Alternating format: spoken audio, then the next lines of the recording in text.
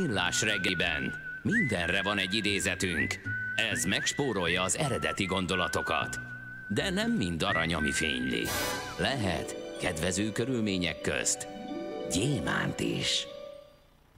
1929-ben ezen a napon született Kertész Imre, és ráemlékezvén egy idézetet mondunk tőle. Mindenkinek igaza van, aki hisz az igazában.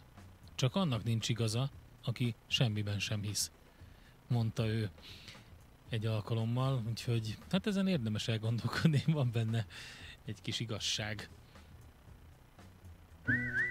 Aranyköpés hangzott el a millás reggeliben.